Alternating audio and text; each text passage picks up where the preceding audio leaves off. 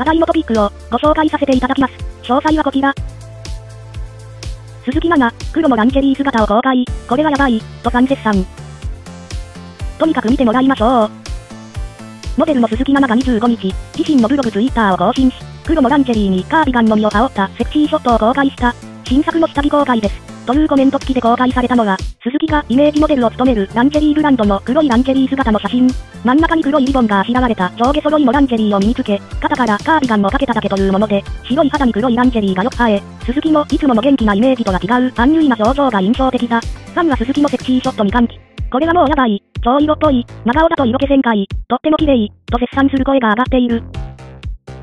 これはいい感じですね。